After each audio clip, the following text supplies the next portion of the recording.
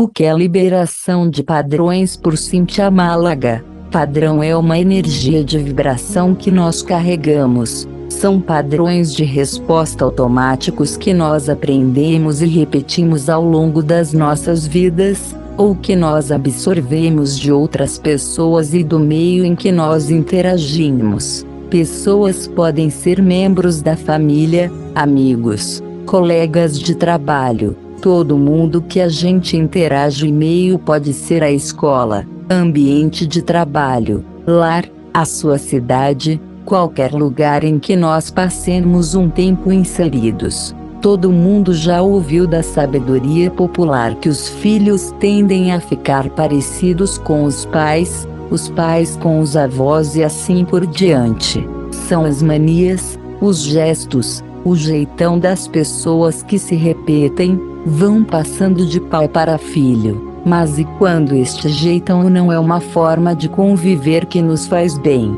Quando não é uma mania sadia, um jeito positivo de viver a vida? Também já ouvimos muito falar que todo mundo que mora em tal lugar é de tal jeito, e são raras as exceções de pessoas que não seguem aquele padrão. Como que todas as pessoas de uma determinada cidade podem agir de forma igual, nós acabamos absorvendo estas energias dos nossos ancestrais, do nosso meio, mesmo sem querer.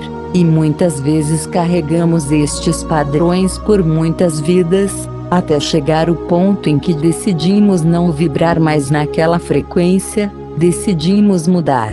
Mudar quer dizer liberar, desapegar de um padrão de agir que você percebe que não é bom para você. É enxergar as situações, as pessoas, a vida por um outro ângulo, de uma outra forma. Muitas vezes isto é difícil e percebemos que, mesmo tomando consciência de que não estamos felizes encarando a vida do modo atual, não conseguimos sair do círculo vicioso de sentimentos e pensamentos em que nos encontramos, e acabamos sempre repetindo o mesmo padrão. Isto acontece porque há uma informação gravada no seu subconsciente que te faz sempre repetir aquele mesmo jeito, e é esta informação que deve ser liberada, curada, para que você possa se libertar dos velhos hábitos. Uma liberação de padrões pode ser mental, emocional ou energética, ou uma combinação das três.